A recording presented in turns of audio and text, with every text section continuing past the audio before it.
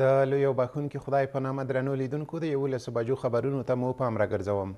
د کابل په لویدیځ کې پر کاسټر موټر د تېرې شپې چاودنې له امله دوه ملکي کسان وژل شوي او څوارلس نور ټپیان شوي دي یو شمېر رسنیو ویلي دي چې د دې چاودنې مسؤلیت داعش ډلې منلی دی په دې وروستیو کې د کابل پولیسو بیان ویلي دي چې د یادې پیښې په اړه د څېړنو خبر ورکړی دی. دا چاودنه داسې مهال رامنځته کیږي چې له دې وړاندې هم د چنګاښ میاشت کې د مهتاب کلا په سیمه کې پر یو کاسټر موټر برید شوی و چې پکې اووه ملکیان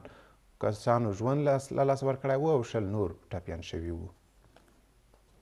د صنعت او سوداګرۍ وزارت پر یو شمېر وارداتي توکو مالیه ډېره کړې ده. دې وزارت ویلي دي چې له یاد ګام څخه یې موخه د دولت عوایدو ډېروالی او د کورنیو تولیداتو ملاتړ دی. هغه وارداتي توکي چې ګمرکي تعرفې لوړې شوي دي اووه قلمه دي او د دې ترڅنګ د یو شمېر توکو تعرفې بیا دوه برابره لوړې شوي دي. د صنعت او سوداګرۍ وزارت ویلي دي دا توکي د هېواد دننه هم تولیدېږي.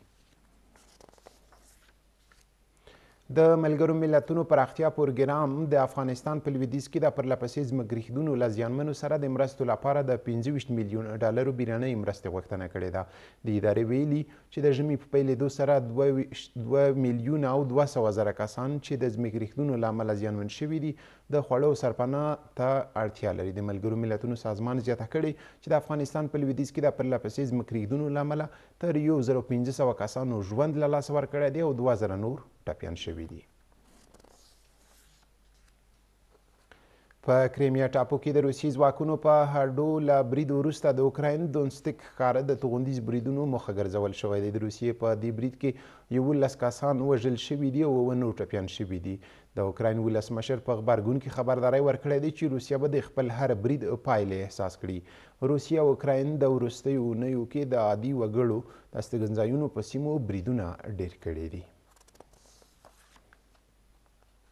د افغانستان او پاکستان د ګډې پوله ییزې کمیټې له لوري په تورخم کې د باروړونکو موټرونو د تګ راتګ په ډیروالي هوکړه کړې ده. سوداګرۍ او پانګونې خونې چارواکي وایي